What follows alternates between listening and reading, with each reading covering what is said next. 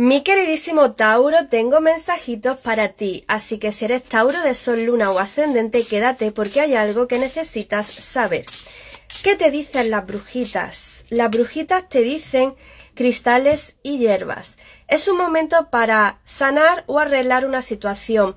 Nos están marcando una reconciliación con alguien muy especial para ti. Puede ser una pareja, una expareja, una amistad, pero nos habla de que por fin vas a poder tener un acercamiento con esa persona y vas a poder respirar tranquilo y tranquila porque esa situación de separación o esa situación que era un poquito enrevesada o complicada por fin va a terminar y por fin te vas a poder reconciliar con esa persona que quizá para ti es muy especial. Vamos a ver qué nos dice el tarot. Nos marca que viene un cambio en tu vida, nos marca que viene un cambio que va a ser espectacular.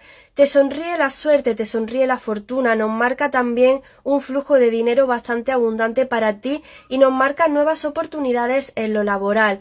Nos marca como también un cambio de giro en el destino. Aquí veo que vas a poder materializar un sueño que venías ya queriendo desde hace bastante tiempo. Y sí, Tauro, la economía te va a sonreír porque veo que va a fluir maravillosamente y estupendamente. Nos están marcando de que llega una oportunidad laboral para ti diferente y que esa oportunidad tienes que aceptarla porque es que te va a cambiar la vida por completo.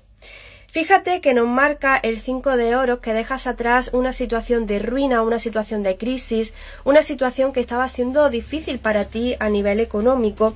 Y nos marca también una gran celebración, obviamente a través de esta nueva oportunidad, pero también nos marca una celebración de amor, nos marca una reconciliación con esa persona especial y que ya por fin esa persona te dice lo importante que tú eres para él o para ella. Nos marca un compromiso también con esa persona y nos marca una evolución dentro de la relación, por tanto una reconciliación, un noviazgo, un matrimonio, etc. Fíjate que se corta una situación negativa, se deja atrás y sigues hacia adelante. Veo que tomas una situación que era confusa y la conviertes como un empoderamiento para ti. Nos están marcando que viene ese nuevo comienzo casi que de manera inesperada y nos marca que no tengas miedo de abrazar los nuevos retos que están apareciendo en tu vida.